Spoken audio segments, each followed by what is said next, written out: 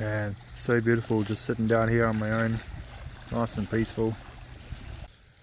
G'day guys. Uh, another good video coming up hopefully. Hopefully you enjoy it. Uh, to run through uh, some of the changes that I've made to the back of my car and um, on top of the car as well. Uh, just in preparation for a trip to Melbourne and back. So I'm to be taking the next five weeks off of work. Um, yeah obviously Perth to Melbourne then back to Perth and um, yeah free camping across the country uh, not taking the caravan so that should be interesting. Uh, so I'm leaving at the end of April and I'll be back early June. So right smack bang in the middle of winter. Uh, but we'll see how we go. Uh, I'll be in the swag like I said. And um, yeah it's gonna be uh, it's gonna be an adventure guys. I'm hoping uh, to be able to make a series out of this trip so maybe six or seven videos I'm hoping. I don't know yet but we'll see anyway guys we'll get uh, we'll get cracking uh, go and check out the ute. So here we are driver's seat. Um, um, got a few things going on here. That's a reverse camera for the caravan so that'll be coming down when I go on my trip. Um, got the tablet here. This uh, does all my diagnostics and stuff for my engine so basically an OBD2 uh, reader. And um, yeah she's yeah, she works really well. So um, gives you all the stuff that you need, all your uh, temps and pressures and whatever.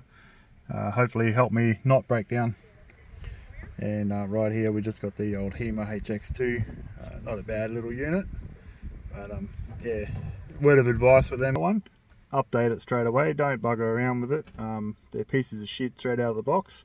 But uh, once you update them and get all the latest software and whatever going in it, it's, uh, it's really good. Anyway, we'll, we'll hop into the back. So um, yeah, quick rundown of what's in the back here. I'll open this up. And um, yeah, full of tools, uh, drill, socket set, um, spanners, screwdrivers, you name it, all the stuff that you need. Battery testing equipment. Um, I'm going to have a scan tool in there as well, even though I've got one already hooked up. It's uh, not the best, it's from eBay. So everything's in there. Please don't come and steal it this cord. Um, so this is like a uh, just a bit of an extension so I can run solar blankets and um, boost up my charging capacity. So I've got another 560 watts of uh, solar blanket. So they put out about 50%. So what's that? That's about another 250 watts of solar that can go into the system when I'm parked up. Uh, yeah. Um, what we got here? We got the 120 amp hour uh, lithium battery in the battery box. Uh, everything's all um, pretty well hooked up in there. It looks like a bit of a complicated mess, but it all works. Uh, I've got the light, so I won't turn that on. I've just got like a, you know, sticky on buddy roof light because this thing stopped working and I haven't uh, sourced a replacement for it yet. What else? Electronics, so we've got uh, the King's 1500 watt pure sine wave inverter works really well, powers everything in my caravan, um, and it's yeah, it's, it's, more than what I need really. The only thing I can't run off of that is a kettle. So um, yeah. In here we have, we've just got two ammo boxes. These are just from um, Supercheap Auto. They're about 25, 30 bucks each. Just got all my cooking stuff for my um, for my little gas stove that I bought the other day, which uh, it's all hidden away down here underneath all this crap. So in here, what have I got in here? I've got um, jumper cables, fuel additives, cooking spray, I don't know why that's there, uh, engine oil, and this little box down here. Come around this side. This little box down here, that's my stove. So we'll, um, we'll get that out afterwards and have a look. But um, yeah, here we go guys. We've got the um, 12 volt oven.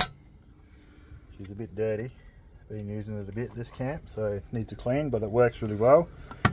Uh, anyone that's interested they draw about 12 to 15 amps when they're running uh, and they work really well gets up to 180 degrees not not a problem takes a little bit.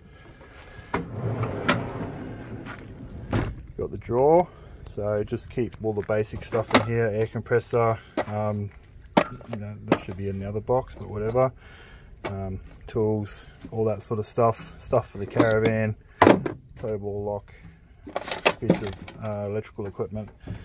And um, yeah, so I've got to go through that and restock it, ready for the trip. Um, 12 volt fridge, uh, fridge freezer, 80 litre combo. Um, yeah, from, can't remember where I got it from, Anaconda, I would like to say. Uh, works really well, hasn't let me down, had it for about a year and a half. And um, yeah, we'll have a look in the back here.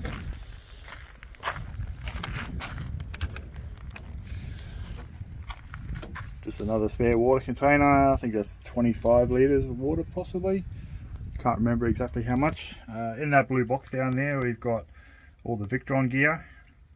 So solar controller, DC-DC charger, um, and the shunt, the 500 amp shunt. So that gives full readout of everything. Um, this spot down here, I haven't done it yet, but I'm going to have um, a jerry can holder just to stick uh, 20 litres of fuel in there, just for a bit of a backup, just in case. Anyway guys, we'll get, get around to the outside of the vehicle now. And uh, the King's um, shower, yep, works really good. Um, solar panels, I've got 160 watts of solar on there. Um, that has been on there for about five years hasn't let me down yet. I don't want to jinx myself. And then, yeah, just the XTM awning. Uh, 2.5 by 2.5. So I am thinking about um, putting another one on the back here as well to make it a bigger shade. Um, push this one forward a little bit on the car and then have this one a little bit back. But um, yeah, not too sure yet. So anyway, guys, that's um, that's my basic setup. Obviously I'm going to have my swag and a bit of camping gear in there as well when I leave. But um, yeah, you get the idea. They're the basics that you need. Uh, also got the first aid kit. So anyway guys, hope you enjoyed this video. Uh, stay tuned and uh, we'll, um, yeah, we'll crack on with the actual trip. Thanks for watching guys.